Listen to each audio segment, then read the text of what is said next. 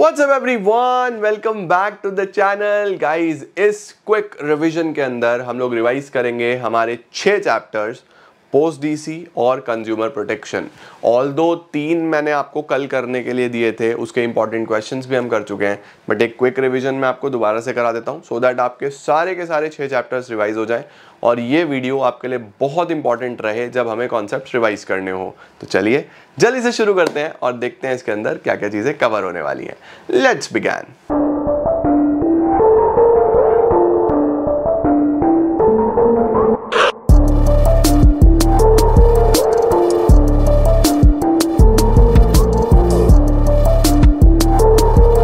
तो शुरू करते हैं यार, बस एक बात का ध्यान रखना बच्चों, ये एक क्विक रिवीजन है। आपको जिस भी पर्टिकुलर टॉपिक में लगे कि सर मुझे प्रॉब्लम आ रही है, मुझे याद नहीं आया, या ये मुझे दोबारा डिटेल में देखना है तो उसके लिए जीएनजी वाली वीडियो देख लेना, या उससे पहले भी जो मैंने डिटेल्ड वीडियोस बनाई हैं, वो भी आप देख सकते हो। साल में तीसरी बार अब ये दोबारा से कराने जा रहा हूँ, ठीक है? तो कोई भी वीडियो आप रेफर कर सकते हो, लेकिन बहुत अच्छे से तैयार कर लेना। चलो यार, शुरुआत करते हैं प्लानिंग के मतलब से। तो सर प्लानिंग होता क्या है?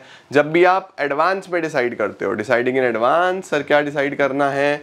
What to do how to do when to do who will do तो planning is closely connected with creativity and innovation it involves objective set करना, अच्छे कोर्स ऑफ़ एक्शन देखना, और फिर अपने टारगेट्स को अचीव करने के लिए सारे के सारा प्लान बनाना। ये इसके अंदर आ जाता है। फीचर्स क्या क्या होते हैं?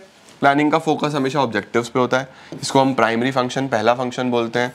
परवेसिव है। परवेसिव का मतलब कैसा भी ऑर्गेनाइजेशन हो, छोटा, बड़ा profit making non profit making सबको चाहिए। कॉन्टीन्यूस है, चलता रहता है, कभी खत्म नहीं होता। Futuristic it is all about the future planning में आपको बहुत सारी डिसीज़न मेकिंग भी करनी पड़ती है। क्यों? क्योंकि आपके पास बहुत सारे कोर्सेज ऑफ़ एक्शन होते हैं। आपको बेस्ट सेलेक्ट करना होता है। एक मेंटल एक्सरसाइज है, क्योंकि माइंड से होती है प्लानिंग सारी की सारी। प्लानिंग क्यों इंपॉर्टेंट है? क्योंकि प्लानिंग से आपको डायरेक्शन मिलता है। कहाँ चलना है? कैसे चलना है? प्लानिंग आपका रिस्क ऑफ़ अनसर्टेनिटी कम कर देता है। फ्यूचर में आने वाली प्रॉब्लम्स को कम कर देता है। प्लानिंग इनोवेटिव आइडियाज़ को प्रमोट करता है। नए नए आइडियाज़ क्योंकि दिमाग से होगी तो क्रिएटिविटी इनोवेशन लगाना पड़ेगा। प्लानिंग में डिसीज़न मेकिंग करनी पड़ती है, वो मैंने आपको वहाँ भी बताई। Planning establish standard for controlling planning एक बेस है कंट्रोलिंग के लिए। कंट्रोलिंग क्या होता है? चेक करना कि काम ठीक से हो रहा है या नहीं हो रहा है। काम है क्या? वो कहाँ से आएगा? प्लानिंग से आएगा। उसके बाद प्लानिंग अगर प्रॉपरली हुई है, सब कुछ वेल डिफाइंड है तो ना तो कोई ओवरलैपिंग होगी, ना ही कोई वेस्टफुल एक्टिविटी होगी। ठीक है बेटा? इसके बाद हमारे पास प्रोसेस ऑफ़ प्लानिंग आ जाता है। सर प्रोसेस ऑफ़ प्लानिंग में क्या आता है? एस डाइज एफ़ याद है? प्रोसेस ऑफ़ प्लानिंग में क्या आता है? एस डाइज एफ़ सबसे पहले ऑब्जेक्टिव सेट करना, यानी गोल सेट करना। ऑब्जेक्टिव आपके कैसे होने चाहिए? मेजरेबल हो टाइम बाउंड हो अचीवेबल हो स्पेसिफिक हो। तो इन चीज़ों का रेलिवेंट हो, इन चीज़ों का ध्यान रखना है। तो ऑब्जेक्टिव कैसे होने चाहिए? स्मार्ट ठीक है? Specific measurable achievable relevant time bound फिर आप ऑब्जेक्टिव सेट करने के बाद कुछ अजम्पन्स बनाते हो, क्योंकि planning is all about future तो बहुत सारी चीज़ें एज्यूम करके चलनी पड़ती हैं फ्यूचर के बारे में कि ये हुआ तो ये करेंगे, ये हुआ तो ऐसा करेंगे। तो प्रेमिसेस डेवलप करना। फिर आइडेंटिफाई करते हैं ऑल्टरनेटिव कोर्सेज ऑफ़ एक्शन जितने भी अलग अलग अलग अलग कोर्सेज ऑफ़ एक्शन होते हैं, उनको आइडेंटिफाई करना। देन इवेल्युएट करना। इवेल्युएट का मतलब एक डिटेल्ड स्टडी करना डीप एनालिसिस करना डीप स्टडी करना। कि ये चीज़ क्या हमारे लिए बेस्ट रहेगी? इसके क्या मेरिट्स हैं, क्या डीमेरिट्स हैं? फिर जो सबसे बेस्ट है, उसको सेलेक्ट करना, यानी डिसीज़न मेकिंग करना इम्प्लीमेंट करना और फिर फॉलोअप करना। फॉलोअप का मतलब चेक करना कि ठीक से चीज़ें हुई भी हैं या नहीं हुई हैं। क्या सर इतना कुछ करने के बाद भी कुछ कमी रह सकती है? क्या लिमिटेशन हो सकता है? Yes planning leads to rigidity जब आपने सब कुछ पहले से ही फिक्स कर दिया, बाद में कुछ सिचुएशन बदल गई तो कैसे बदलोगे उसको? रिजिडिटी आ जाती है। अगर तुमने पहले से प्लान बनाया फ्लाइट्स बुक कर दी नॉन रिफंडेबल टिकट्स हैं तो फिर रिजिडिटी आ गई। नहीं जाओगे तो पैसे का नुकसान तो होगा ही होगा। रिजिडिटी आ गई, ठीक है? प्लानिंग में not work in a dynamic environment अगर एक डायनामिक एनवायरमेंट है, बहुत तेज़ी से चेंज हो रहा है तो वहाँ पे प्लानिंग काम नहीं करेगा। प्लानिंग में क्रिएटिविटी कम होती है सर किसकी? लोअर लेवल्स की, क्योंकि प्लानिंग मेनली कौन कर रहा है? टॉप लेवल कर रहा है। तो मिडल और लोअर को बोलने का मौका ही नहीं मिल रहा। प्लानिंग में बहुत खर्चा आता है। सर, कैसा खर्चा? बच्चों प्लानिंग के लिए बहुत अच्छे अच्छे एक्सपर्ट्स हायर करने पड़ते हैं, जो बहुत पैसा लेते हैं प्रोफेशनल्स तो फिर एक्सपेंसिव जॉब है ये एक. Planning is a time consuming process समय बहुत लगता है. इतना कुछ करने के बाद भी प्लानिंग डजन गारंटी सक्सेस उसके बाद आता है, बच्चों, हमारे पास कितने तरीके के प्लान्स हैं? तो बच्चों, देखो प्लान्स हमारे पास सिंगल यूज़ हो गए. उसके बाद स्टैंडिंग प्लान्स हो गए, उसके बाद अदर प्लान्स हो गए। तो सिंगल यूज़ कौन कौन से होते हैं? सिंगल यूज़ होते हैं बेटा जी, जो एक ही बार बनाए जाते हैं। एक ही बार बनाए गए मतलब उस हर बार नया बनेगा।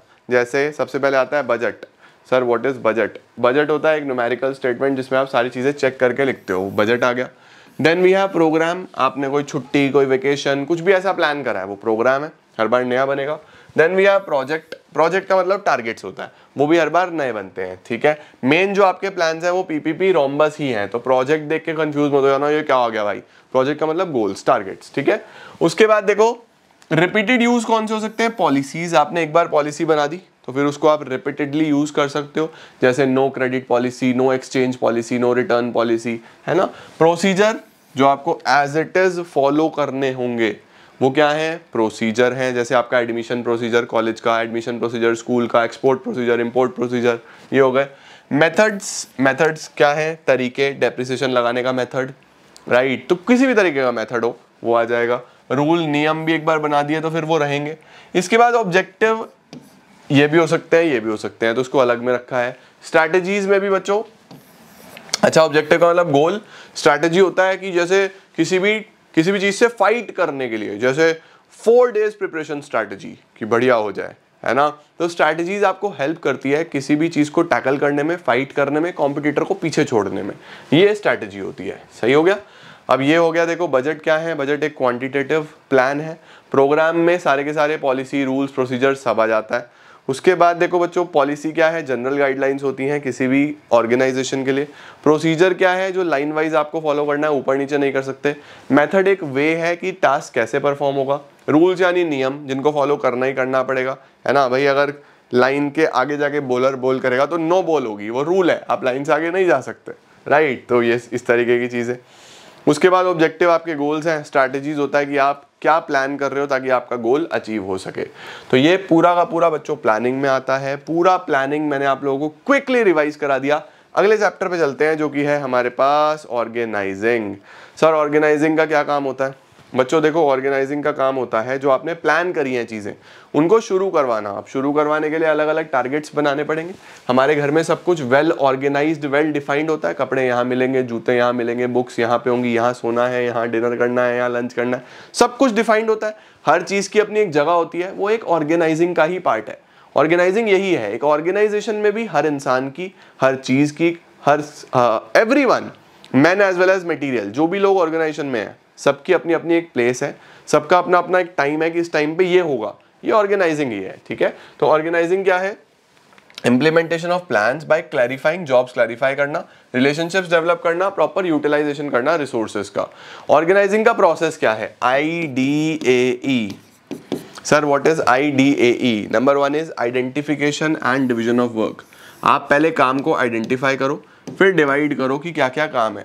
Then we have departmentalization departmentalization का मतलब फिर आप डिपार्टमेंट्स बनाओ, जो सिमिलर नेचर की चीज़ें हैं, उनको एक साथ ले आओ डिपार्टमेंट्स बना दो। देन असाइनमेंट ऑफ़ ड्यूटीज़ काम दे दो। इन डिपार्टमेंट्स को काम भी तो देना पड़ेगा। आप बैंक्स में देखते हो अलग अलग डिपार्टमेंट्स होते हैं, फिर उनको काम दिया जाता है। फिर अथॉरिटी एंड रिपोर्टिंग रिलेशनशिप्स बनाना, यानी कौन बॉस होगा, कौन सुपीरियर होगा, कौन सबॉर्डिनेट होगा। तो ये जो मैनेजमेंट की हायरार्की है ना, कौन सुपीरियर कौन सबॉर्डिनेट ये ऑर्गेनाइजिंग से ही डेवलप हो जाती है। ठीक है? ऑर्गेनाइजिंग क्यों ज़रूरी है? स्पेशलाइजेशन आएगा। जब एक डिपार्टमेंट आपने बना दिया सपोज़ प्रोडक्शन डिपार्टमेंट है तो वो प्रोडक्शन प्रोडक्शन प्रोडक्शन ही कर रहा है। जैसे मेरा काम मेरे ऑर्गेनाइजेशन में पढ़ाना है, मैं टीचिंग डिपार्टमेंट में हूँ तो मैं टीचिंग टीचिंग टीचिंग कर रहा हूँ। स्पेशलाइजेशन आ गया, बच्चों को बता देता हूँ कि भाई ये इंपॉर्टेंट है, ऐसे पढ़ो, इस तरीके से लिख के आओ, पूरे नंबर मिलेंगे। हर साल बच्चे तीन सौ में से तीन सौ लाते हैं मेरे सब्जेक्ट्स में, चार सौ में से चार सौ इनफैक्ट फ़िज़िकल भी तो है ई e भी तो है पूरे पूरे नंबर लाते हैं बच्चे। तो वो क्या हुआ? स्पेशलाइजेशन आ गया। Clarity in working relationships clarity in working relationships का मतलब क्या है? सब कुछ बहुत क्लियरली डिफाइन किया जाता है तो आपका गोल जल्दी अचीव होता है अडेप्टेशन टू चेंज जब आपको सब कुछ बहुत प्रॉपरली पता है, सही इंसान सही जगह पे है मतलब सही डिपार्टमेंट में है तो वहाँ पे अडेप्टेशन टू चेंज चेंज के हिसाब से बदलना आसान होगा। एडमिनिस्ट्रेशन अच्छा होता है क्योंकि कुछ भी वेस्टेज नहीं होता। पर्सनल ग्रोथ होती है लोगों की जितने भी लोग लगे हुए हैं पर्सोनल यानी group of person working in your organization उन सबका ओवरऑल डेवलपमेंट होता है और एक्सपेंशन और ग्रोथ हमें देखने को मिलता है। ठीक है बच्चों? उसके बाद एक छोटा सा टॉपिक आता है सर स्पैन ऑफ़ मैनेजमेंट क्या होता है? स्पैन ऑफ़ मैनेजमेंट होता है कि एक सुपीरियर के अंडर कितने सबॉर्डिनेट्स काम कर रहे हैं अच्छे से। उसके बाद ऑर्गेनाइजेशन स्ट्रक्चर आता है। स्ट्रक्चर का मतलब है बेसिकली वो ब्लूप्रिंट जिसके आधार पे आपने अपना ऑर्गेनाइजेशन बनाया है। यानी ऑर्गेनाइजेशन में डिपार्टमेंट्स किस तरीके से बनाए हैं, उसको स्ट्रक्चर बोलते हैं। फंक्शनल डिविजनल फंक्शनल क्या होता है? आप जब भी डिपार्टमेंट्स बनाते हो on the basis of functions ठीक है? कि कौन क्या काम करेगा? उसके हम लोग बोलते हैं फंक्शनल ऑर्गेनाइजेशनल स्ट्रक्चर डिविजनल क्या होता है? जब भी आप डिपार्टमेंट्स बनाते हो on the basis of product तो अगर एक कंपनी है जो एक से ज़्यादा प्रोडक्ट बनाती है कॉस्मेटिक अलग कर दो फुटवेयर अलग कर दो मेडिसिन अलग कर दो ऐसी ऐसी कंपनीज़ जो बहुत सारी चीज़ें बनाती है, वहाँ डिविजनल चलता है। ऐसी कंपनी जो एक ही प्रोडक्ट बनाती है तो वहाँ फंक्शनल चलता है। ठीक हो गया बच्चों? फंक्शनल के एडवांटेजेस स्पेशलाइजेशन देखने को मिलता है। अच्छा कोऑर्डिनेशन अच्छा कौन सा स्पेशलाइजेशन फंक्शनल स्पेशलाइजेशन कोऑर्डिनेशन देखने को मिलता है। ऑपरेशन अच्छे से होते हैं। ट्रेनिंग करना आसान होता है, क्योंकि एक ही पर्टिकुलर डिपार्टमेंट के लिए ट्रेनिंग करनी होती है। फोकस अच्छा होता है। डिसएडवांटेजेस वही बात है डेविएशन इन इंटरेस्ट मतलब कई बार ऐसा होता है कि हमारा फोकस बस अपने डिपार्टमेंटल गोल्स पे होता है ओवरऑल गोल्स हम भूल जाते हैं, लड़ाई झगड़े हो जाते हैं डिपार्टमेंट्स में, आपस में। उसके बाद कोऑर्डिनेशन कई बार नहीं बनता और रिजिडिटी बनी जाती है। रिजिडिटी का मतलब कि आपका डिपार्टमेंट बस आप ही को जानता है, उसको किसी और के बारे में पता ही कुछ नहीं है। तो वही बात है कि रिजिड हो जाएँगे अपने अपना काम करेंगे तो कई बार ऑर्गेनाइजेशन गोल्स अचीव नहीं हो पाते। ठीक है जी? डिविजनल भी मैंने आपको बता दिया। डिविजनल की क्या क्या एडवांटेजेस हैं? इसके अंदर प्रोडक्ट स्पेशलाइजेशन मिलेगा। अकाउंटेबिलिटी फिक्स करना बहुत आसान होता है इसके अंदर। फ्यूचर पोजीशंस के लिए आप लोगों को तैयार कर रहे हो और अच्छे इनिशिएटिव्स देखने को मिलते हैं। डिसएडवांटेजेस कॉन्फ्लिक्ट हो जाता है। ठीक है? कॉन्फ्लिक्ट का मतलब लड़ाई झगड़ा चलता है। डुप्लीकेशन हो सकता है। अब देखो अलग अलग जगह सपोज़ प्रोडक्शन में ही आपने प्रोडक्शन डिपार्टमेंट तीन बने हैं। क्यों? क्योंकि कॉस्मेटिक का अलग है फुटवेयर का अलग है, उसके साथ साथ मेडिसिन का अलग है। तो प्रोडक्शन को कई बार कन्फ्यूज़न हो जाएगा कि काम हो गया था या नहीं हो गया था। तो वहाँ पर डुप्लीकेशन हो सकता है। ऐसा हो सकता है कि एक डिपार्टमेंट दो चीज़ें कर दे बार बार तो वो डुप्लीकेशन हो सकता है। पावर का मिस हो सकता है, ये इसके डिमेरिट्स हैं। उसके बाद आता है बच्चों हमारे पास दो तरीके के ऑर्गेनाइजेशन एक होता है फॉर्मल एक होता है इनफॉर्मल सर फॉर्मल ऑर्गेनाइजेशन किसको बोलते हैं? फॉर्मल ऑर्गेनाइजेशन बोलते हैं बेटा जहाँ पे सब कुछ बहुत क्लियरली डिफाइंड होता है। पावर्स सबके गोल सबके फ़ंक्शंस बहुत क्लियरली डिफाइन होंगे और कोई भी किसी से अननेसेसरी बात नहीं करेगा। फालतू टाइम पास नहीं करेगा। सब कुछ बहुत अच्छे तरीके से एक ऑर्डर में, एक मैनर में चलेगा। उसको हम फॉर्मल ऑर्गेनाइजेशन बोलते हैं। तो फॉर्मल ऑर्गेनाइजेशन क्या है? जो बनाई जाती है टू अकम्प्लिश अ टास्क सब कुछ बहुत क्लियरली इसके अंदर डिफाइन होता है ताकि गोल्स अचीव हो पाए। ठीक है, इसके एडवांटेजेस क्या है? रिस्पॉन्सिबिलिटी फिक्स करना बहुत आसान होता है इसके अंदर, यानी आप पकड़ सकते हो किसने गलती करी है। कोई एम्बिगिटी नहीं होती इंस्ट्रक्शंस में, क्योंकि रिटर्न में होते हैं, सब कुछ वेल डिफाइंड होते हैं ओवर द मेल होता है। कमांड जो यूनिटी ऑफ़ कमांड है, वो मेंटेन रहता है गोल्स अचीव होते हैं और स्टेबिलिटी रहती है ऑर्गेनाइजेशन को। डिसएडवांटेजेस क्योंकि सब कुछ ऑर्डर से चलेगा ए बी को बताएगा बी सी को बताएगा तो कई बार प्रोसीजर डिले आते हैं। ऑर्गेनाइजेशन की प्रैक्टिसेस कई बार फॉलो नहीं हो पाती और प्रॉब्लम रहती है ह्यूमन रिलेशंस में, लड़ाई झगड़ा चलता है। इनफॉर्मल क्या होता है बच्चों? इनफॉर्मल होता है जैसे आपकी फ्रेंडशिप आप स्कूल में गए स्कूल एक फॉर्मल ऑर्गेनाइजेशन है। वहाँ से आपकी दोस्ती हुई, आप फ्रेंड्स बने फ्रेंड्स ने जाके पार्टी करी। अब वो जब बैठे हैं आपस में तो वो एक दूसरे से कुछ भी डिस्कस भी करेंगे, एक दूसरे की टांग भी खींचेंगे, हँसी मज़ाक भी करेंगे तो वहाँ पे अब चल रहा है इनफॉर्मल तो वो बन गया इनफॉर्मल ऑर्गेनाइजेशन तो क्या है? इनफॉर्मल कब बनता है? फॉर्मल के अंदर अंदर से ही बनता है। जब लोग इंटरेक्ट करते हैं अपने रोल से बाहर एडवांटेजेस कम्युनिकेशन को एक होता है। अच्छा फीडबैक मिलता है रियल फीडबैक मिलता है सोशल नीड्स पूरी होती हैं, और ये जो फॉर्मल की कमियाँ थी, उनको पूरा कर देता है। और ये बनाना नहीं पड़ता, खुद ही बन जाता है, ठीक है? डिसएडवांटेज रूमर बहुत फैलते हैं, ठीक है? रेजिस्टेंस टू चेंज लोग चेंज नहीं करना चाहते, और pressurize member to conform to group expectations इसके बाद बच्चों, हमारे पास एक टॉपिक आता है डेलीगेशन डेलीगेशन क्या होता है सर जब एक सुपीरियर बहुत ज़्यादा थक जाता है। नॉर्मली कोई भी इंसान हो he is bound to get tired थकना तो है ही तो वो क्या कर सकता है? अपना कुछ काम, अपने इमीडिएट सबॉर्डिनेट को ट्रांसफ़र कर सकता है कि यार, मेरे लिए काम कर दे। सुपीरियर थोड़ा फ्री हो जाएगा माइंड रिलैक्स हो जाएगा टाइम मिलेगा उसको और चीज़ों को सोचने को। तो जब भी एक सुपीरियर अपने इमीडिएट सबॉर्डिनेट को कुछ काम ट्रांसफ़र करता है, उसको हम डेलीगेशन बोल देते हैं। ठीक है? एलिमेंट्स कितने हैं डेलीगेशन के? अथॉरिटी रिस्पॉन्सिबिलिटी अकाउंटेबिलिटी अथॉरिटी का मतलब power to take decision responsibility का मतलब obligation to perform the duty accountability का मतलब आंसरेबल होना. देन डेलीगेशन क्यों इंपॉर्टेंट है बच्चों? अच्छा मैनेजमेंट होता है इससे. इंप्लाइज का डेवलपमेंट होता है, काम करने को मिलता है. मोटिवेटेड रहते हैं इंप्लॉयज ग्रोथ होती है ऑर्गेनाइजेशन की. ये बेसिस है मैनेजमेंट हायरार्की का और अच्छा कोऑर्डिनेशन बना रहता है. उसके बाद आता है बच्चों सेंट्रलाइजेशन डिसेंट्रलाइजेशन सेंट्रलाइजेशन क्या होता है? एक ऐसा ऑर्गेनाइजेशन जहाँ पे सारी की सारी डिसीज़न मेकिंग टॉप लेवल से होगी। उस प्रोसेस को हम क्या बोलते हैं? सेंट्रलाइजेशन और ऐसा ऑर्गेनाइजेशन को हम क्या बोलते हैं? सेंट्रलाइज्ड ऑर्गेनाइजेशन डिसेंट्रलाइज्ड कौन सा होता है? जिसके अंदर सारी डिसीज़न मेकिंग बटी होती है throughout the levels of the organization उसको क्या बोलते हैं? डिसेंट्रलाइजेशन ठीक है? चलो भाई डिसेंट्रलाइजेशन भी समझ गए। अब डेलीगेशन और डिसेंट्रलाइजेशन मैंने आपको केस बेस्ड क्वेश्चंस में भी कराया था। डेलीगेशन दो लोगों के बीच में होता है decentralisation throughout the organisation होता है। ये इसके इंपॉर्टेंस है, इससे सबॉर्डिनेट को इनिशिएटिव लेने का मौका मिलता है। आप मैनेजरल टैलेंट ढूंढ सकते हो फ्यूचर के लिए डिसीज़न मेकिंग क्विक होता है। टॉप मैनेजमेंट को रिलीफ मिलता है ग्रोथ होता है और कंट्रोल करना आसान होता है। तीसरा चैप्टर आ रहा है बच्चों हमारे पास staffing staffing is all about staff staffing is all about people लोगों के बारे में बात होगी। स्टाफिंग का मतलब होता है putting people to jobs placing right person at the right job मुझे कोई बोले कि भैया, आपको एक क्लब में जाके वहाँ पे डीजे प्ले करना है तो मैं नहीं कर पाऊँगा। I am not the right person for that job मुझे कोई बोले कि आपको कॉलेज में जाके लेक्चर देना है स्कूल में जाके बच्चों को मोटिवेट करना है, उनको इंस्पायर करना है, उनको करियर के बारे में बताना है आई कैन डू दैट तो सही इंसान सही जगह पे होना चाहिए। सही है, यही स्टाफिंग है बेटा। ओके स्टाफिंग में पूरा प्रोसेस था बच्चों। आप स्टाफिंग कैसे करते हो? सबसे पहले आप मैन पावर रिक्वायरमेंट को एस्टिमेट करते हो। सर स्टाफिंग का मेमोरी टेक्निक हाँ जी बच्चों engineer S P T P P C engineer S P T P P C ये याद रखना है, ठीक है? सबसे पहले आप मैन पावर रिक्वायरमेंट को एस्टिमेट करते हो। इसके लिए दो चीज़ें करनी पड़ती हैं workforce analysis workload analysis workload का मतलब होता है कितने लोगों की ज़रूरत है वर्क फोर्स का मतलब अभी कितने करंटली अवेलेबल हैं, कितने करंटली काम कर रहे हैं। सपोज़ ज़रूरत है बीस की काम कर रहे हैं, पंद्रह तो इनका डिफरेंस हो गया पाँच। This is estimation manpower requirement पता चल गया। फिर हम रिक्रूटमेंट करते हैं, ज़्यादा से ज़्यादा लोगों को मोटिवेट करते हैं, हमारी जॉब के लिए अप्लाई करें। फिर जो उसमें से बेस्ट होता है, उसको सेलेक्ट करते हैं। फिर उसको प्लेसमेंट एंड ओरिएंटेशन उसको जॉब पे प्लेस करते हैं, उसकी जान पहचान कराते हैं दैट इज़ ओरिएंटेशन फिर हम ट्रेनिंग करते हैं एम्प्लॉयज़ की, उनके डेवलपमेंट पे फोकस करते हैं। फिर हम देखते हैं कि काम कितना अच्छे से कर रहे हैं, उसको हम बोलते हैं अप्रेजल करना। जो लोग बहुत अच्छा कर रहे होंगे, उनको प्रमोशन दे दिया जाएगा, उनकी करियर प्लानिंग कर दी जाएगी। जो अच्छा नहीं कर रहे होंगे, उनको वापस से ट्रेनिंग पे भेज दिया जाएगा। और फिर हम कॉम्पनसेशन डिसाइड करते हैं कि पैसा किसको कितना दिया जाएगा। ये पूरा का पूरा स्टाफिंग प्रोसेस में आ जाता है। ये इतना प्रोसेस इंपॉर्टेंट क्यों है? Why staffing is important why putting the right person at the right job is important इससे क्या होगा? आपको अच्छा इंप्लॉय मिलेगा, आपकी परफॉर्मेंस बढ़ेगी सर्वाइवल और ग्रोथ आसान हो जाएगी यूटिलाइजेशन होगा ह्यूमन रिसोर्स का, उसकी स्किल का, उसकी एबिलिटीज़ का, और जॉब सेटिस्फैक्शन मिलेगा। मुझे इस काम में जॉब सेटिस्फैक्शन है। डीजे बजा के नहीं मिलेगा। भाई मुझे सेटिस्फैक्शन ठीक है? Staffing as a part of human resource management बस ये ध्यान रखना बच्चों ह्यूमन रिसोर्स मैनेजमेंट एक बहुत बड़ा टास्क है। स्टाफिंग एक छोटा सा टास्क है। स्टाफिंग का मतलब सिंपली सही इंसान को सही जगह पे लेके जाना है। ह्यूमन रिसोर्स मैनेजमेंट में और भी बहुत सारी चीज़ें आती हैं।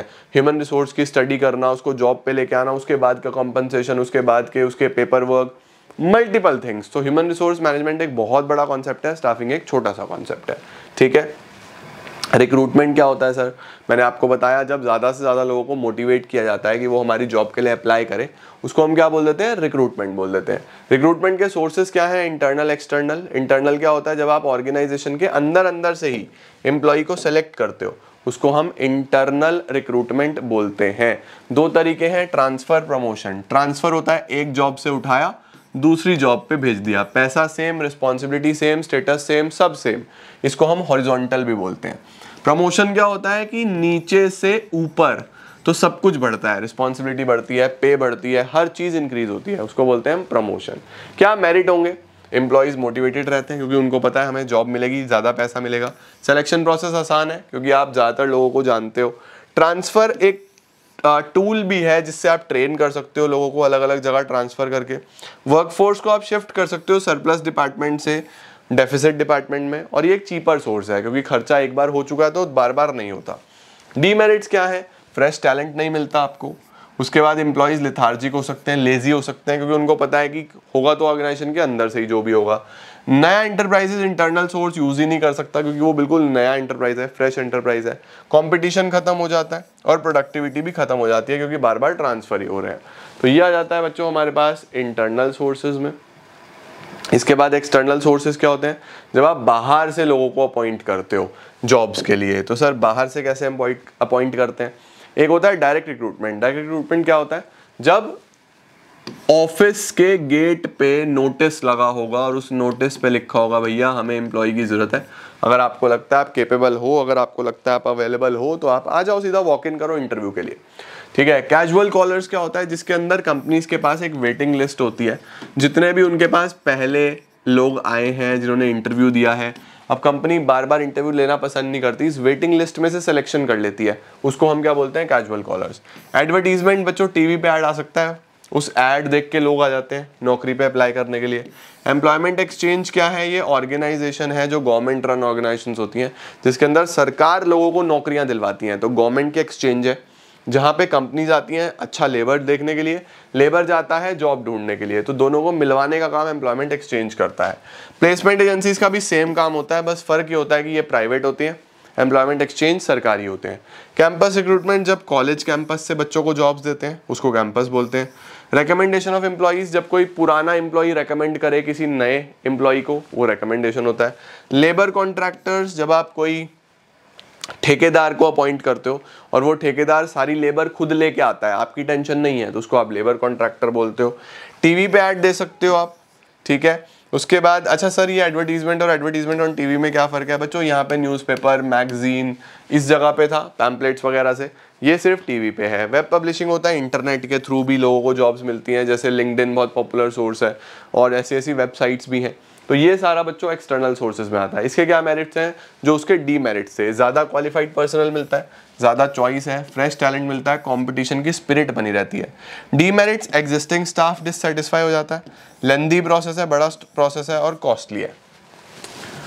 ये हो गए बच्चों हमारे पास रिक्रूटमेंट के external sources then we have selection sir selection क्या होता है? सिलेक्शन होता है, इतने सारे लोग आए।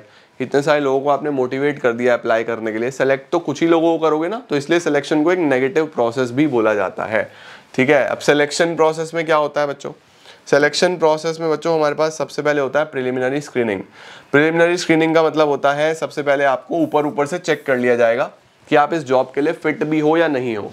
फिर आपके सिलेक्शन टेस्ट होते हैं। सिलेक्शन टेस्ट में हम लोग बोलते हैं पति टेस्ट ठीक है? जिसके अंदर सबसे पहले हमारे पास होता है personality test aptitude test trade test interest test intelligence test personality test में ओवरऑल पर्सनालिटी चेक होती है। एप्टीट्यूड होता है कि आप कितनी जल्दी नई स्किल्स सीख लोगे।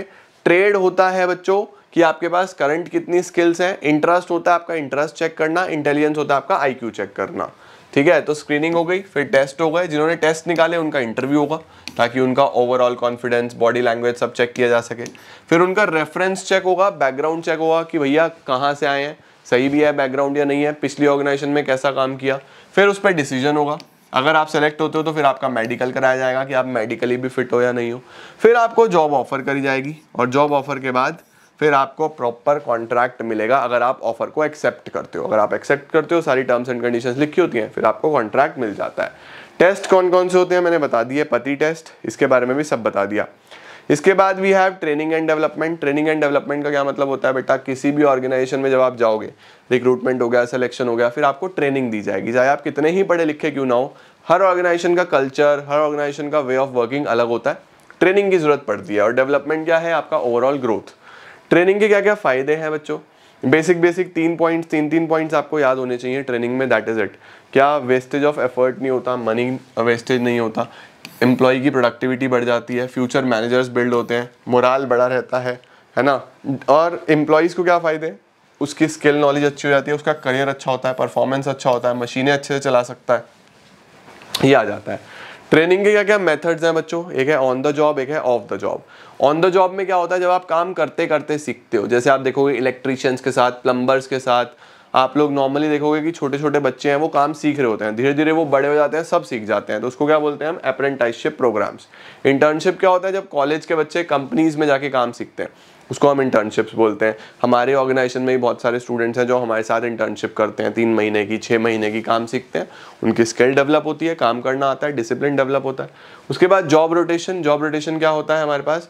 जॉब रोटेशन होता है कि एक जॉब से दूसरी जॉब पे लेके जाना, एक जॉब से दूसरी जॉब पे ट्रांसफ़र करना, उससे भी काफ़ी स्किल्स डेवलप हो जाती हैं। देन ऑफ़ द जॉब में वेस्टिब्यूल स्कूल होता है बेटा। वेस्टिब्यूल स्कूल में या वेस्टिब्यूल ट्रेनिंग में, जहाँ पे बहुत सोफिस्टिकेटेड मशीनें होती हैं। तो सोफिस्टिकेटेड मशीनें महँगी हैं, सीधा उस पर बिठा दोगे, ख़राब कर देगा। तो उसको डायरेक्टली मशीन पे ना बिठा के पहले एक डेमो मशीन पे ट्रेनिंग कराई जाती है, जब आप सीख लोगे फिर आना। जैसे गाड़ी सीखने आते हैं लोग। तो अपनी गाड़ी ना ठोक के पहले सीखते हैं। कार ड्राइविंग स्कूल में जाते हैं। वो भी एक वेस्टिब्यूल स्कूल का ही एग्ज़ाम्पल है।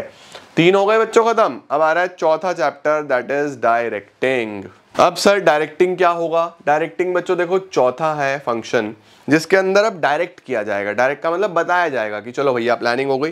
ऑर्गेनाइजिंग में डिपार्टमेंट्स बन गए स्टाफिंग में लोग आ गए। अब काम शुरू करो। डायरेक्ट किया जाएगा। तो directing refers to the process of instructions देना गाइडिंग करना काउंसलिंग करना मोटिवेटिंग करना, यानी मोटिवेट करना, लोगों को लीड करना ताकि गोल्स अचीव हो पाए। इसके अंदर क्या क्या आता है? Supervision leadership motivation communication characteristics क्या है? इनिशिएट्स एक्शन काम यहाँ से चालू होता है। हर लेवल ऑफ़ मैनेजमेंट पे डायरेक्शन चाहिए।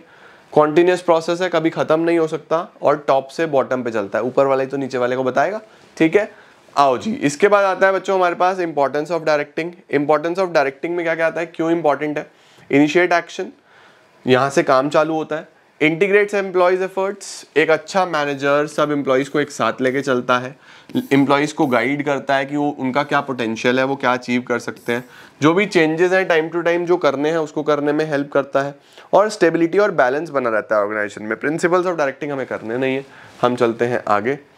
सुपरविजन में बच्चों, सिर्फ़ आपको मीनिंग पता होना चाहिए सर सुपरविजन का क्या मतलब होता है? जब आप किसी भी एम्प्लॉय के बॉस हो या उसके सुपीरियर हो तो आप उसको ऊपर से चेक करते रहोगे। सुपर का मतलब ओवर एंड अबव विजन का मतलब नज़र रखना। तो ओवर एंड अबव जब एक सब सुपीरियर अपने सबॉर्डिनेट पे नज़र रखता है, उसको सुपरविजन बोलते हैं, ठीक है? इससे क्या होगा? अच्छा कॉन्टैक्ट बना रहेगा लिंक बना रहेगा वर्कर मैनेजमेंट में यूनिटी बनी रहेगी परफॉर्मेंस बेटर होगा, गलतियाँ मिल जाएँगी, ठीक है? ये सब इसके इंपॉर्टेंस में आया था। मोटिवेशन क्या होता है बच्चों? मोटिवेशन एक प्रोसेस है इंटरनल फिनोमिना है, जिसके अंदर कोई भी मोटिवेटर अब मोटिवेटर बच्चों, कोई चीज़ भी हो सकती है, किसी के लिए पैसा हो सकता है, किसी के लिए कोई इंसान हो सकता है, किसी का कोई टारगेट हो सकता है, किसी के लिए कोई इंसल्ट हो सकती है। किसी ने किसी की इंसल्ट कर दी है, बहुत सारे टीचर स्कूल में कई बार बच्चों को बोल देते हैं कि तेरे से कुछ नहीं हो पाएगा। फिर वो बच्चा उस चीज़ को सीरियसली लेता है, फिर वो खूब मेहनत करता है है ना? और फिर पढ़ाई में वो बड़ा नंबर ले आता है तो वो भी उसके लिए एक मोटिवेटर है। तो किसी भी तरीके से हो सकता है, ऐसा हो जाता है। तो ये सब बच्चों मोटिवेशन के ही पार्ट हैं। फीचर्स क्या है? इंटरनल फीलिंग है। गोल डायरेक्टेड बिहेवियर आता है। लोग गोल्स की तरफ़ भागने लगते हैं मोटिवेट होकर पॉजिटिव भी हो सकता है नेगेटिव भी। जैसे मैंने आपको बताया टीचर ने डांट दिया, वो छोड़ के चली गई, ये सब नेगेटिव मोटिवेशन में आ जाएगा। पॉजिटिव मोटिवेशन तो आप सबको पता ही है रिवॉर्ड्स हो गए रिजल्ट्स हो गए कॉम्प्लेक्स फिनोमिना है। इंपॉर्टेंस क्या है? क्यों इंपॉर्टेंट है मोटिवेशन परफॉर्मेंस बढ़ता है। नेगेटिव से पॉजिटिव एटीट्यूड में बिल्डअप होता है लोगों का। उसके बाद employee turnover highly motivated employee छुट्टी वुट्टी नहीं मारते। ठीक है एबसेंटिज्म नहीं होता है जॉब्स बार बार नहीं बदलते हैं और आप आसानी से चेंजेस कर सकते हो। मैस्लो कौन है? मैस्लो जी ने बहुत सारी थियरीज दी हैं, जिसमें मैस्लो ने ये बोला है कि इंसान मोटिवेट होता है अपनी नीड्स को लेके और पाँच प्रकार की नीड्स हैं और इसी ऑर्डर में इंसान की नीड्स फुलफिल होंगी। जैसे जैसे नीड फुलफिल होती रहेगी वैसे वैसे इंसान का मोटिवेशन कम होता रहेगा। तो सबसे पहले जीवन में इंसान काम क्यों करता है? बेसिक नीड्स के लिए। तो मैस्लो ने बोला कि सबसे पहले भैया एक इंसान काम करेगा बेसिक नीड्स के लिए, जैसे कि हंगर थर्स शेल्टर स्लीप इसके लिए काम करेगा। जब ये पूरी हो जाएँगी, फिर वो मोटिवेट होगा अपनी सेफ्टी सिक्योरिटी के लिए कि मैं फ्यूचर के लिए कुछ पैसा जोड़ लूँ, मेरे पास इंश्योरेंस भी हो, मैं फ्यूचर में सेफ़ रहूँ। उसके बाद उसको चाहिए बिलोंगिंगनेस बिलोंगिंगनेस मतलब अफेक्शन केयर लव एक्सेप्टेंस कि मुझे इज़्ज़त मिले। सोसाइटी में मुझे लोग जानते हो, पहचानते हो। फिर उसकी होती है एस्टीम एस्टीम का मतलब सेल्फ रिस्पेक्ट ऑटोनॉमी उसको लगता है कि भैया मेरा कुछ रिकॉग्निशन हो, मैं जहाँ जाऊँ मुझे अटेंशन मिले, ये होती है स्टीम नीड्स इसके बाद आती है last self actualization self actualization होता है सेल्फ फुलफिलमेंट आपको अपना गोल पता चल गया, आप वहाँ पे पहुँच गए. आपकी सेल्फ ग्रोथ हो रही है है ना? तो ये बेसिकली सेल्फ एक्चुअलाइजेशन नीड्स में आ जाता है. मैस्लो ने बोला, चलेगा ऐसे ही. एक इंसान पहले इसके लिए मोटिवेट होगा, ये हो जाएगी तो फिर इसके लिए, ये हो जाएगा तो फिर इसके लिए, ये हो जाएगा फिर इसके लिए, ये भी हो जाएगा फिर इसके लिए. चलो भाई फिनेंशियल इंसेंटिव्स मोटिवेट करने के लिए लोगों को क्या क्या दे सकते हो? भैया, पैसा दे सकते हो। उसको हम फिनेंशियल इंसेंटिव्स बोलते हैं और नॉन फिनेंशियल भी दे सकते हो। फिनेंशियल में आप क्या क्या दे सकते हो? लोगों को बोनस पे एंड अलाउंस यानी लोगों की सैलरी बढ़ा दो। Productivity linked wage incentive productivity linked का मतलब ज़्यादा प्रोडक्टिव को ज़्यादा पैसा, कम प्रोडक्टिव को कम पैसा। प्रॉफिट शेयरिंग प्रॉफिट में हिस्सा दे सकते हो। को पार्टनरशिप अपनी कंपनी के शेयर्स दे सकते हो। ई e भी बोलते हैं इसको। ई रिटायरमेंट बेनिफिट्स दे सकते हो पर्किसिट्स दे सकते हो। ठीक है? पर्किसिट्स क्या होता है सर पर्किसिट्स में बच्चों इंश्योरेंस दे देते हैं पर्किसिट्स में गाड़ी दे देते हैं, ये सारी चीज़ें आ जाती हैं। नॉन फिनेंशियल कौन से होते हैं, जिसमें आप पैसा नहीं दे रहे हो? जैसे आप स्टेटस दे रहे हो, यानी अच्छी पोजीशन दे रहे हो। क्लाइमेट अच्छा दे रहे हो करियर एडवांसमेंट अपॉर्चुनिटी दे रहे हो टाइम टू टाइम ट्रेनिंग देते हो। जॉब एनरिचमेंट देते हो, यानी फुलफिल्ड लगता है अच्छा लगता है जो काम कर रहे हैं। Employee recognition program time to time employee of the month employee of the year awards मिलते रहते हैं। एम्प्लॉय पार्टिसिपेशन आप एम्प्लॉय को डिसीज़न मेकिंग में पार्टिसिपेट करवाते हो। एम्प्लॉय एम्पावरमेंट यानी आप थोड़ी फ्रीडम भी देते हो कि अपने हिसाब से आप चलो। ठीक है? तो ये सारा का सारा मोटिवेट करने के लिए इंसेंटिव्स आ जाते हैं। नेक्स्ट आता है बच्चों लीडरशिप लीडरशिप क्या है? जिसके अंदर आपके पास एक पावर होगी, जब आप दूसरे के बिहेवियर को इन्फ्लुएंस कर सकते हो। लोग आपको फॉलो करते हैं। अगर लोग आपको फॉलो करते हैं तो आप एक अच्छे लीडर हो। है ना? हमारे देश में बहुत सारे बड़े बड़े शानदार लीडर्स हुए हैं। आपको क्या लगता है? मुझे पॉलिटिकल लीडर्स नहीं बताना please politics is a completely different thing मुझे बिज़नेस लीडर्स बताओ। आपके आसपास आपको क्या लगता है कि कौन कौन से लीडर्स हैं जिनसे आप इंस्पायर होते हो, जिनको आप देखते हो? आपको लगता है कि यार, ये एक इंसान है। जो बहुत मोटिवेट करता है, बहुत इंस्पायरिंग है, और उसको देख के काम करने का मन करता है, वो एक अच्छा लीडर है, ठीक है? तो वो आपके फादर हो सकते हैं, आपके आसपास कोई ऐसा किसी ने कुछ बनाया है, वो हो सकते हैं। रतन टाटा जैसे बहुत सारे बिज़नेस लीडर्स हैं हमारे देश में तो ये सारी लीडरशिप की क्वालिटीज़ होती हैं, ठीक है बच्चों? फीचर्स क्या है? एक एबिलिटी है इंडिविजुअल की, वो लोगों को इन्फ्लुएंस कर सकता है, लोगों के बिहेवियर में चेंज ला सकता है, अच्छी इंटरपर्सनल रिलेशन डेवलप कर सकता है गोल्स की तरफ़ ले जाता है ऑर्गेनाइजेशन के, और कॉन्टिन्यूस प्रोसेस है। क्यों इंपॉर्टेंट है? क्योंकि लोगों का बिहेवियर पॉजिटिवली इन्फ्लुएंस होता है इससे। अच्छे रिलेशन बनते हैं लोगों के साथ। जितने भी चेंजेस ऑर्गेनाइजेशन में लेके आने एक अच्छा लीडर आसानी से ला सकता है। कॉन्फ्लिक्ट्स आसानी से हैंडल कर सकते हो आप और ट्रेनिंग देनी भी आसान हो जाती है। एक अच्छी लीडर की क्वालिटीज़ क्या होंगी बच्चों? फिजिकली फिट होगा नॉलेज होगी मैन ऑफ़ इंटीग्रिटी होगा, यानी धोखाधड़ी उसके अंदर खून में नहीं होगी। इनिशिएटिव होगा, हमेशा आगे बढ़ के काम करेगा, अच्छी कम्युनिकेशन स्किल्स होंगी, अच्छी मोटिवेशन स्किल्स होंगी सेल्फ कॉन्फिडेंट होगा डिसाइसिवनेस होगी डिसीज़न लेने में हमेशा अच्छा होगा और सोशल स्किल्स भी होंगी। कितने प्रकार के बच्चों लीडरशिप स्टाइल्स हो सकते हैं? तीन प्रकार के होते हैं। ऑटोक्रेटिक डेमोक्रेटिक लेजीफेयर ऑटोक्रेटिक का नाम अथॉरिटेटिव भी होता है। अथॉरिटेटिव में होता है आई स्टाइल मैं जो बोलूँगा, वो फाइनल है। ऐसा हो सकता है कि आपके घर में आपके पापा ने बोला, बेटा, जो मैंने बोल दिया, वो फाइनल मुझे इसके बाद कोई इफ़ बट नहीं चाहिए। कौन सी लीडरशिप कर रहे हैं वो? ऑटोक्रेटिक ऐसा हो सकता है कि आपके पापा ने बोला, यार चलो आज इस वीकेंड पे कहीं घूमने चलते हैं, बताओ कहाँ चलना चाहोगे? फिर मैं भी बताता हूँ, फिर हम मिल के डिसीज़न लेंगे। उसको हम बोलते हैं वी स्टाइल हम लोग मिल के काम करेंगे दैट इज़ डेमोक्रेटिक उसके बाद आपके पापा ने ऐसा बोला कि, बेटा तुम लोग डिसाइड कर लेना। मुझे बता देना आई एम ऑल सेट मैं आ जाऊँगा और हम सारे अरेंजमेंट्स कर लेंगे। तुम लोग जहाँ बोलोगे वहाँ चलेंगे वीकेंड पे। तो वो क्या हो गया? यू स्टाइल तुम करो। तो आई स्टाइल इज़ मैं करूँगा वी स्टाइल इज़ हम करेंगे यू स्टाइल इज़ तुम करो। तो यू स्टाइल होता है बच्चों लेजी फेयर ठीक है? ये हमें अच्छे से देख लेना है एक बार। तो सबसे पहले हो गया ऑटोक्रेटिक देन हो गया डेमोक्रेटिक यानी पार्टिसिपेटिव और फिर हो गया फ्री रेन यानी कि आप करो। ठीक है जी? उसके बाद कम्युनिकेशन होता है बच्चों। कम्युनिकेशन क्या है? एक ऐसा प्रोसेस जिसके अंदर एक्सचेंज होगा आइडियाज़ का व्यूज़ का फैक्ट्स का फीलिंग्स का, दो या दो से ज़्यादा लोगों के अंदर। शुरुआत कहाँ से होगी कम्युनिकेशन की? सेंडर से। एक इंसान जो मैसेज भेजेगा।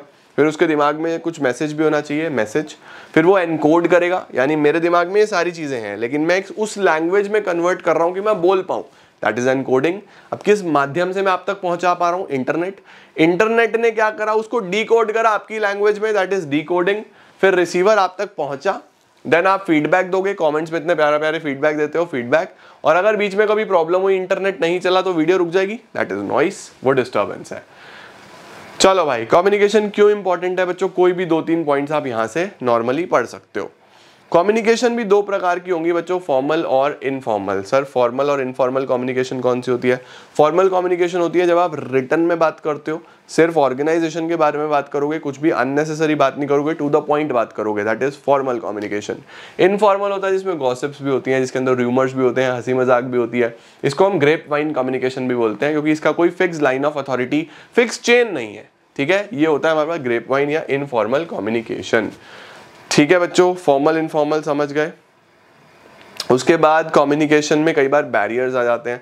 सर बैरियर्स कितने प्रकार के हैं? बैरियर्स जो हैं बच्चों, चार प्रकार के हैं। सर कौन कौन से चार प्रकार के बैरियर्स हैं? सबसे पहले होता है सीमेंटिक बैरियर्स देखो, नाम से याद रखना। सीमेंटिक बैरियर्स वो होते हैं जिसके अंदर आप देखोगे एनकोडिंग डिकोडिंग की प्रॉब्लम है। समझने समझाने में प्रॉब्लम है। जैसे गलत ट्रांसलेशन यूज़ कर लिया मैसेज अच्छे से एक्सप्रेस ही नहीं करा। सिंबल के डिफरेंट मीनिंग्स हो सकते हैं प्राइस प्राइस हो गया। राइट मैं बोलना चाहता था व्हाट इज़ द प्राइस कितनी कीमत है इसकी? आपको लगा व्हाट इज़ द प्राइस कितने uh, क्या इसके साथ फ्री मिलेगा? प्राइस क्या मिलेगा? टूर्नामेंट चल रहा है कोई प्राइस मिलेगा? तो देखो दोनों सिमिलर सिमिलर लगते हैं सुनने में। तो ऐसे वर्ड्स हो सकते हैं तब भी समझ में नहीं आता। कुछ लोग अनक्लैरिफाइड एजम्पन यानी सामने वाले की बात को क्लैरिफाई नहीं करते। उसने बोला, आप, उसका मतलब कुछ और था, आपने कुछ और समझ लिया। टेक्निकल जार्गन कई बार एक्सपर्ट्स काफ़ी टेक्निकल वर्ड्स यूज़ करते हैं जो हमें समझ में नहीं आते। वही समझने, समझाने में problem technical jargon is important बच्चों एग्ज़ाम में आ जाता है ये, ठीक है? जैसे डॉक्टर ने अपने पर्चे पे लिख दिया लॉयर ने कुछ टेक्निकली लिख दिया, हमें समझ में नहीं आएगा टेक्निकल जार्गन है वो।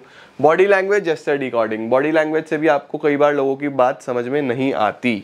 इसके बाद होते हैं साइकोलॉजिकल बैरियर्स साइकोलॉजिकल होते हैं बच्चों basically psychology state of mind मैं प्री ऑक्यूपाइड हूँ, मैं इमोशनली कहीं और, मैं थोड़ा परेशान हूँ तो मैं बात ही नहीं कर पाऊँगा आपसे। ये सब साइकोलॉजिकल में चलते हैं। Premature evaluation pre evaluation का मतलब होता है कि आपने मेरी बात पूरी सुनी नहीं, पहले से ही एज्यूम कर लिया आगे की बात pre evaluation lack of attention मेरा ध्यान ही नहीं है आपके ऊपर, मैं कहीं और ऑक्यूपाइड हूँ, मेरा ध्यान ही कहीं और है, वो हो सकता है। लॉस बाय ट्रांसमिशन कई बार जब बहुत बड़ी चेन होती है कि एक से दूसरा, दूसरे से तीसरा, बात ऐसे जा रही है।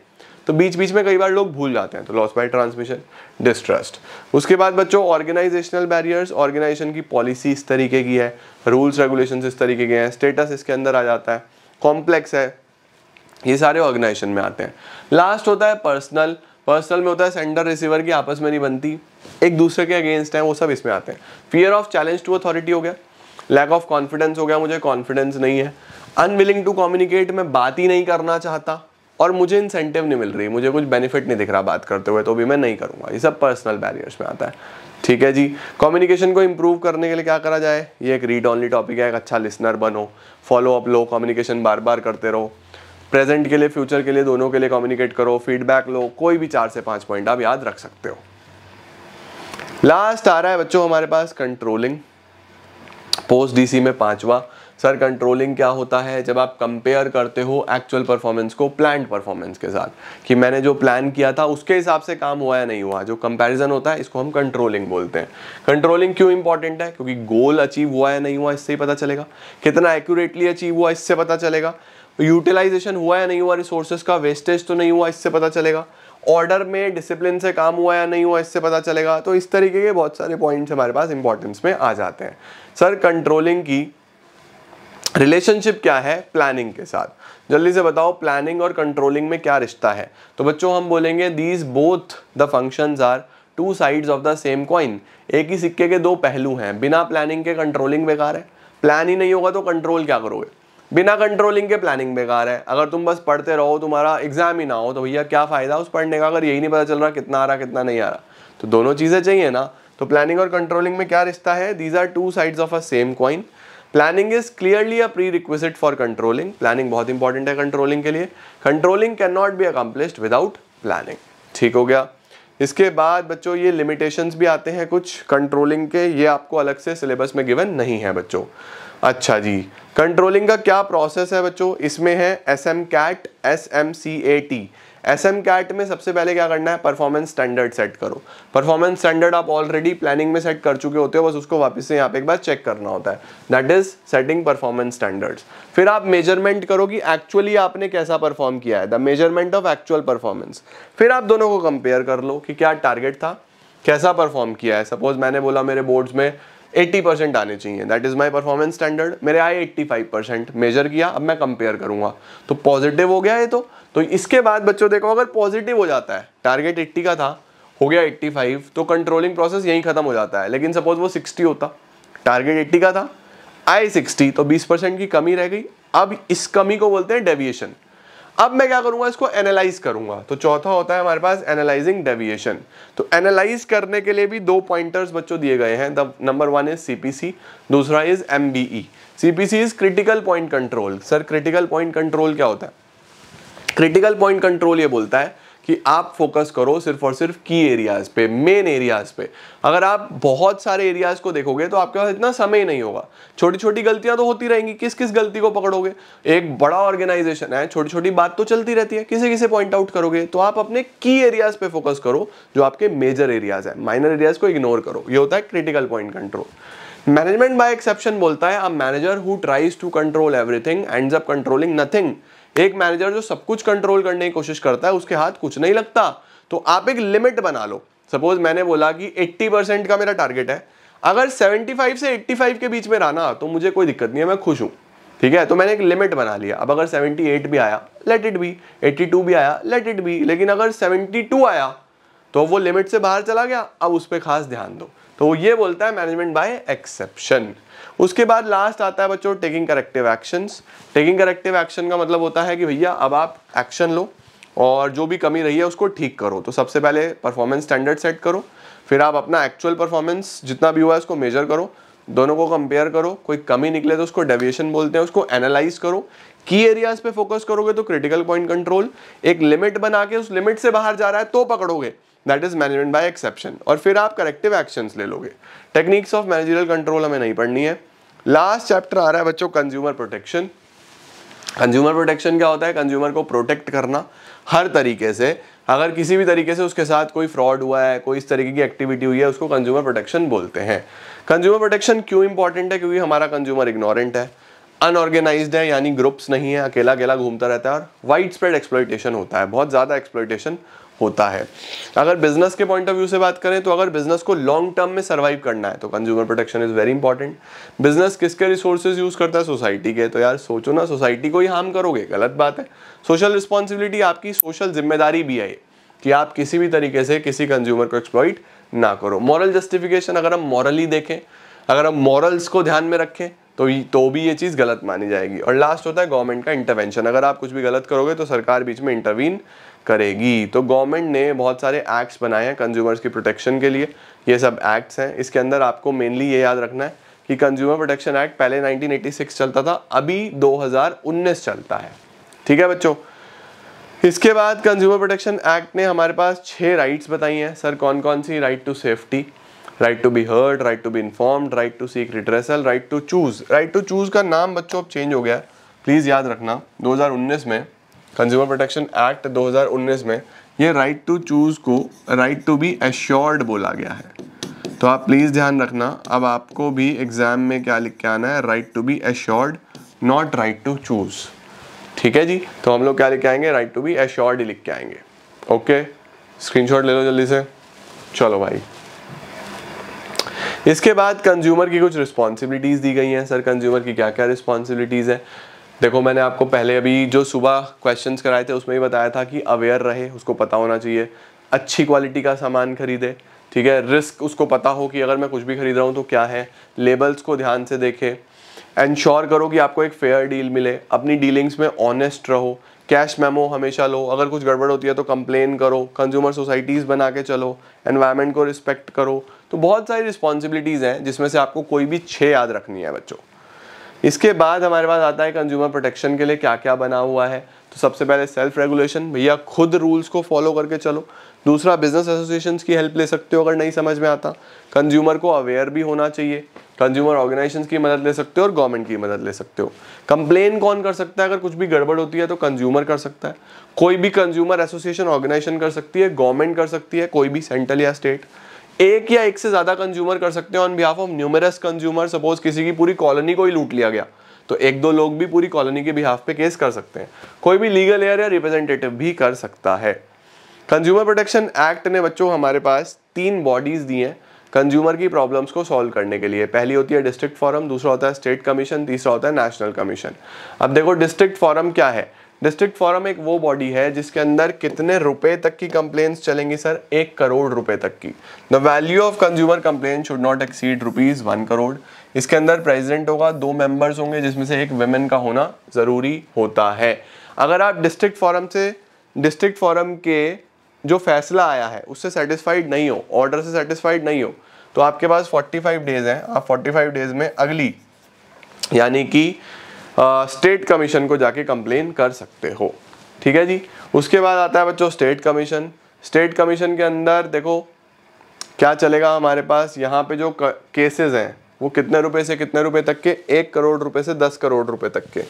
यहाँ पे जो केसेस चलेंगे, वो चलेंगे एक करोड़ का मिनिमम और दस करोड़ का मैक्सिमम अगर आप यहाँ से भी सेटिस्फाइड नहीं हो तो फिर आप 30 दिन के अंदर अंदर कहाँ जा सकते हो? नेशनल कमीशन में जा सकते हो। नेशनल कमीशन में कितने पैसे का केस चलेगा? 10 करोड़ से बड़ा। 10 करोड़ से ज़्यादा। और अगर आप यहाँ पे भी सेटिस्फाइड नहीं हो तो आप 30 दिन के अंदर अंदर फर्दर सुप्रीम कोर्ट में जा सकते हो। मेनली आपको यही याद रखना है। कंज्यूमर ऑर्गेनाइजेशन एनजीओ का क्या रोल है बच्चों? कंज्यूमर ऑर्गेनाइजेशन क्या करती हैं? लोगों को एजुकेट करेंगी पीरियोडिकल्स पब्लिश करेंगी। क्वालिटी टेस्टिंग कराएँगी एनकरेज करेंगी कंज्यूमर्स को प्रोटेस्ट करने के लिए लीगल असिस्टेंस प्रोवाइड करेंगी और इनिशिएटिव लेंगी केसेस में कंप्लेन फ़ाइल करने का कंज्यूमर के बिहाफ पे। तो ये थे बच्चों हमारे पास छः चैप्टर्स जो मुझे लगता है हमने लगभग 40 से 45 मिनट्स में पूरे रिवाइज कर ले होंगे। यही पर्पज़ होता है क्विक रिवीजन का कि आपको एग्ज़ाम से पहले अगर आप अर्ली मॉर्निंग सुबह भी इस रिवीजन को देखोगे तो आपको मज़ा आ जाएगा। छः चैप्टर्स आपके सारे के सारे रिवाइज हो जाएँगे। तो बहुत अच्छे तरीके से रिवाइज करते चलना। जो टॉपिक आपको लगे कि मुझे डिटेल में पढ़ना है, वैसे तो तुम किताब अगर सामने रख के पढ़ रहे हो तो तुम्हें कोई दिक्कत नहीं आएगी। तुम इस रिवीजन की मदद से भी बहुत अच्छे से रिवाइज कर पाओगे। अब लर्निंग पे ज़ोर देना। आज पूरे दिन में कम से कम पाँच चैप्टर तो तुम्हारे तैयार होने ही चाहिए। P O S D C कोई कमी मत छोड़ना इसके अंदर। बढ़िया तरीके से तैयार कर लेना। शाम को इंपॉर्टेंट क्वेश्चन कराता हूँ और फिर कल से चालू करेंगे अगले छः चैप्टर जो बचे हैं।